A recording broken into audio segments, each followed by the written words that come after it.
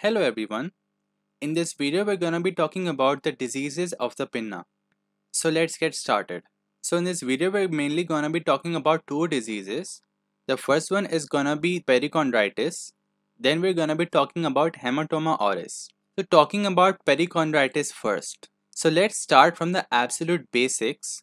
We are going to break up this word and see the meaning behind it. So breaking it up gives peri, chond and itis. As we all know, peri means around, chond means cartilage, and itis means inflammation. So it is the inflammation of the tissue around the cartilage, and this tissue is called perichondrium.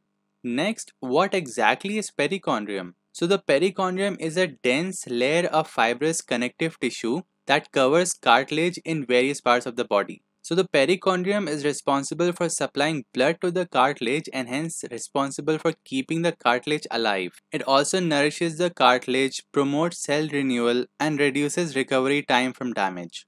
Next, what are the causes of perichondritis? So it occurs mainly after a trauma to the ear because this trauma leads to the entry of bacteria in the pinna.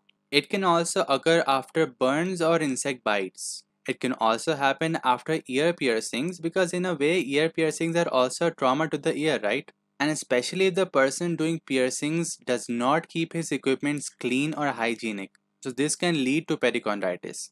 And finally, the most common causative agent of perichondritis is Pseudomonas aeruginosa.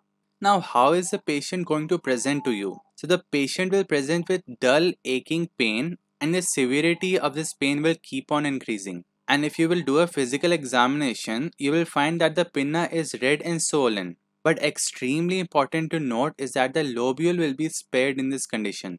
This is because the lobule does not contain the cartilage, it only contains fat.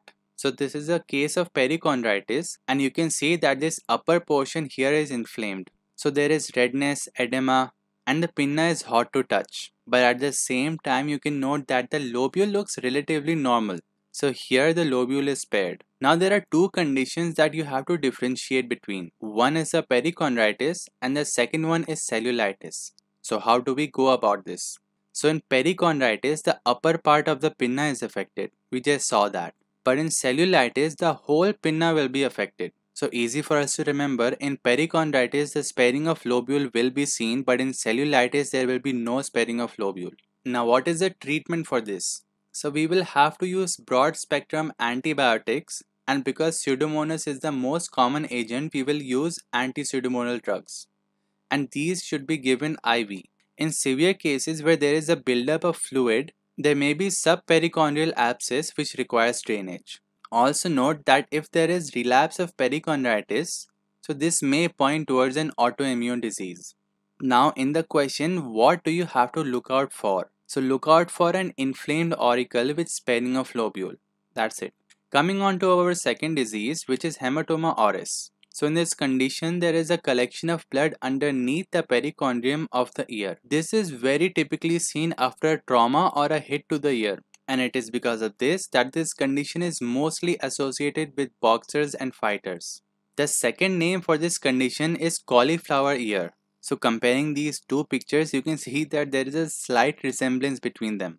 Now let's try to understand the anatomy so that these conditions that we're talking about right now make more sense to you. So this is the cross section of the pinna. On both the sides we have the skin, then we have the loose connective tissue and then we have the cartilage. Surrounding this cartilage we have the perichondrium and this is the collection of blood that we were talking about. So let's see what happens in this condition. Normally, the perichondrium should be completely stuck to the cartilage, but in this condition, there is a collection of blood between the cartilage and the perichondrium.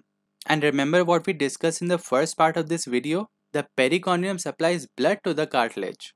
So what can go wrong if you will have this collection of blood here for a long time? So there will be mechanical obstruction of blood flow from the perichondrium to the cartilage. Due to this, the cartilage will not be receiving blood and it will become avascular. This may lead to necrosis, infection or permanent deformity. So this is another example of the cauliflower ear. He is a very famous UFC fighter. Some of you might even recognize him. So here you can see that the auricle is deformed. But also note that in this condition also there is sparing of lobule And why is there sparing of lobule? Because the lobule does not contain cartilage again. It only contains fat. For this condition, you need collection of blood between the perichondrium and cartilage, right? So if you don't have cartilage or perichondrium, how are you going to get hematoma auris in this part of the ear? Again, very, very important to remember this. Now, how is the patient going to present to you? So the patient will present with a tense, tender and painful pinna after a blunt injury. The treatment is needle aspiration so that you can take out all the blood that has been collected and then pressure dressing. So in the condition, you have to look out for the profession of the patient. So he might be a boxer or a fighter or something like that. Or even if the patient is not a fighter, look out for some history of blunt trauma to the ear. Maybe the patient just fell down on the floor. So that's it for this video. Thank you for watching. If you have any doubts, so please leave them in the comments or you can message me on Instagram anytime. I upload high yield MCQs daily on Instagram so please consider following that. The link for my Instagram will be in the bio. Thank you.